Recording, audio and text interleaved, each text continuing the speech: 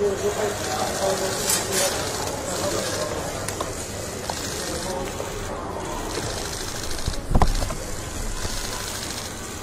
came into office at a time of great economic and international instability.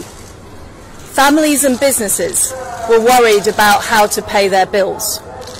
Putin's illegal war in Ukraine threatens the security of our whole continent and our country has been held back for too long by low economic growth. I was elected by the Conservative Party with a mandate to change this. We delivered on energy bills and on cutting national insurance. And we set out a vision for a low tax, high growth economy that would take advantage of the freedoms of Brexit. I recognise, though, given the situation, I cannot deliver the mandate on which I was elected by the Conservative Party.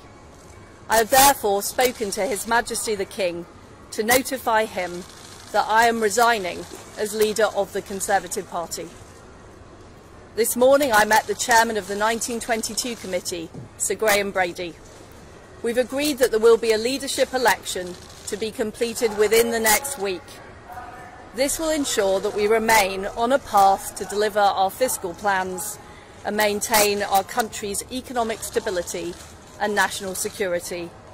I will remain as Prime Minister until a successor has been chosen. Thank you.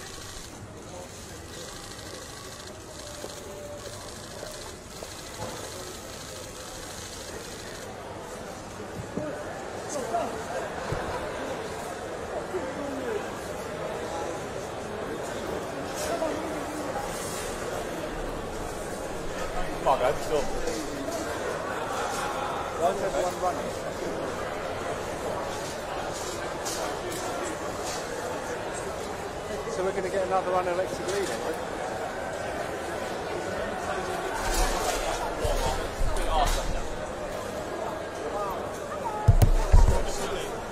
No, let's just go.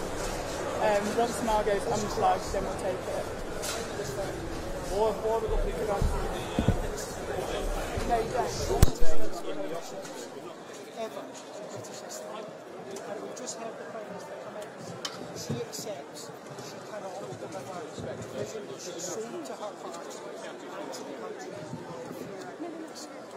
is a really remarkable moment. The resignation of Prime Minister is always a big deal. I've never seen anything like this. Let's be clear on what's happened. Yesterday, the British Trustee was on the to try and uh, What's happened in the past 24 hours in in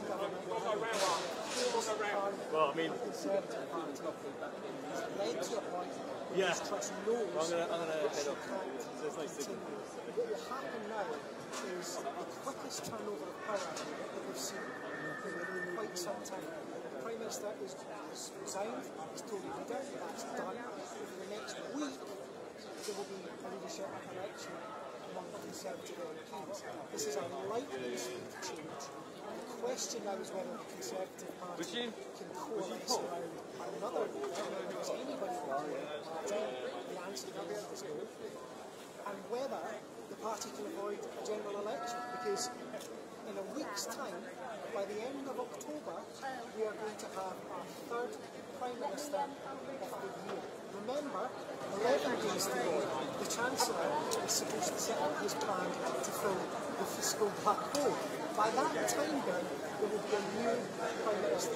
This is a unprecedented situation, an unprecedented short tenure for a Prime Minister, and an unprecedented crisis. too many. Party,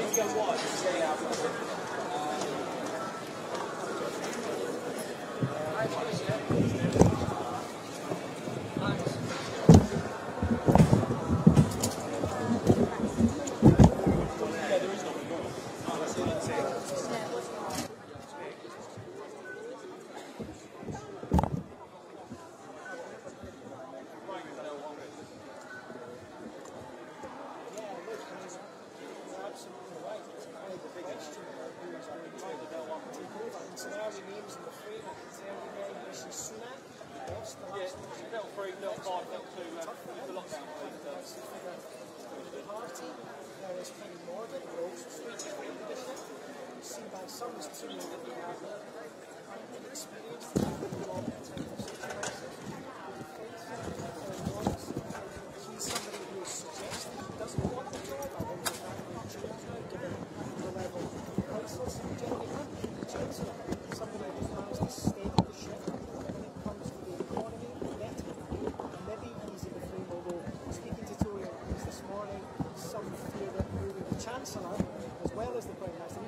to control that, to advance them into number 10 because of the no crisis. I mean, the truth is, when I came into work this morning, we knew how bad the situation was for Liz Truss.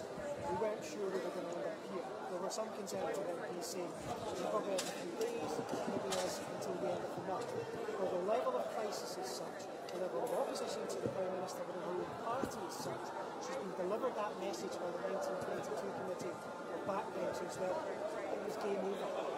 And now, British politics is going to have to make the pieces of this remarkably short tenure in Downing Street. I don't know how that is going to pan out. To be honest, so much has caught us by surprise because it's been so unprecedented. This incredibly short tenure, the humiliation of Liz Truss's programme for government has left this office, number 10, in a very, very strange place this evening.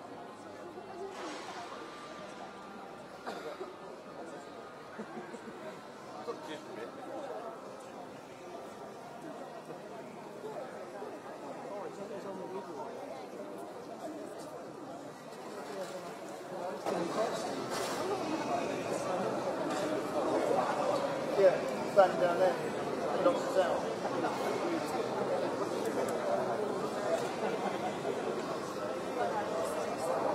Are you in?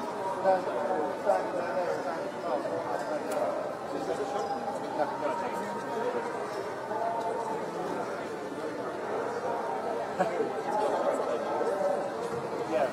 That? I wonder who I'm going to borrow with. I wonder who I'm going to borrow it.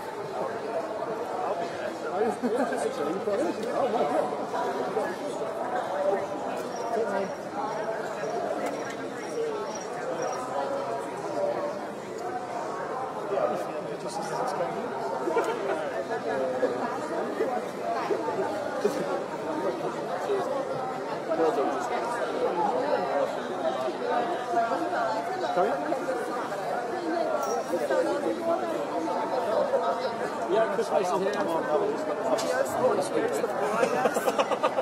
Yeah, they're here. ITN. Yeah, indeed. It's one of those where you kind of Hello, sorry, um, there was a problem with the sound, that we couldn't get the sound, and they said that we should ask the tools, like I, that you are the only one with the sound. And they don't have it in the office. So, my, my boss is there, yeah, is there any chance to Try the sound? Thank you. Yeah, because no one could have the sound, so we filmed it without. Because they, they didn't, they didn't put like the sound.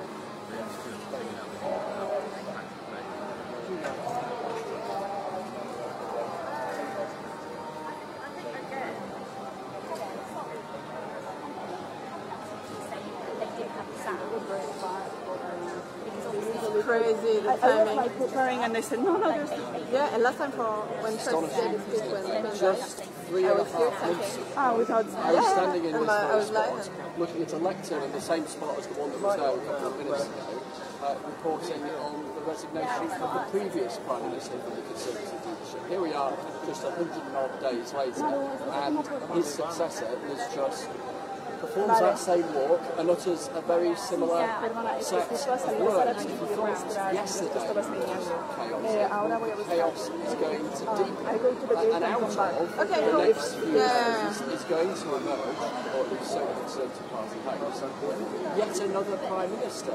They hope they can kind of dredge a name out uh, of their ranks amongst themselves to avoid a contest amongst Conservative Party members in the country, which will take uh, several months uh, in order to present yet another leader of the country to the Yeah. country at large. And, and that new Prime Minister, if they can Okay. find someone who can unite the party, and that is a massive if, because as you might just have noticed the Conservatives are not exactly entirely Okay, united okay, at the moment. Uh, they will then face a massive challenge around legitimacy, because a country will look in on that new leader and say, well, who are you? And where have you come from? And what do you stand for? And what say did we have? Uh, to which the answer to the last question would be, you know, you won't have had. But Can I not copy the file can my we live in a parliamentary laptop democracy, and if a new prime minister can command And then I use my images. Commons, then they have a constitutional right to serve until the next Um, general I- election legally has No, to not happen. really. That was the basis upon which Liz Truss became Prime Minister, having won the Conservative Party work. leadership. It's also the basis Yeah. upon which she is leaving the leadership because she was no longer able to command the majority in the House of Commons, and therefore her position You'll get was on much So we are set for Yeah. more turbulence, more intrigue, Yeah. and a party, the Conservatives, incredibly aware that over the last five or six weeks, their reputation, their brand, in the words of so many of them, has been fed into the shredder. They've got to try and turn that shredder on in reverse, which doesn't work, does it? It's difficult. And that's what they're trying to do. They're trying to damage limitation as far as their brand is concerned. Very, very conscious that whoever comes next faces all the same questions that Liz just faced in terms of the domestic and international picture, which is incredibly difficult. Will also face a fractured party and will face the question that they lack a mandate. So a massive couple of weeks coming up and yet another Prime Minister. 2022, the year of three British Prime Ministers at least.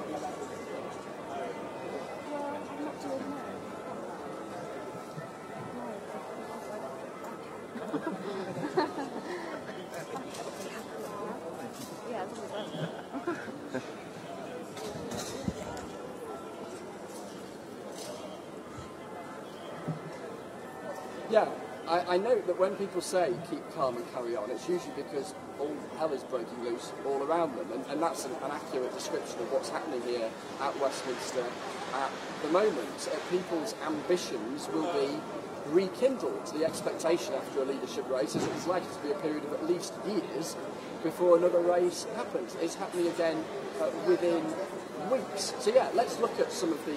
I was going to say runners and riders. There aren't any runners and there aren't any riders yet because so many of those who could potentially take over uh, were not wanting to say very much publicly prior to the resignation uh, of Liz Truss. I'm just learning, uh, courtesy of uh, Nick Eardley, our chief political correspondent, who was talking to you just a few minutes ago and has been back on his phone since he came off the television, uh, that Jeremy Hunt, the Chancellor, has said he will not stand to be the next Prime Minister, which is in keeping with what he said publicly just a couple of days ago, that his two cracks of the whip at becoming Conservative leader, which both failed, had removed that ambition uh, from his body. So Jeremy Hunt will not be standing as Conservative leader, and I'll hand Nick Eardley his phone back as we continue to talk. So who else is there uh, in the mix? So Rishi Sunak, first and foremost, the former Chancellor, the runner-up in the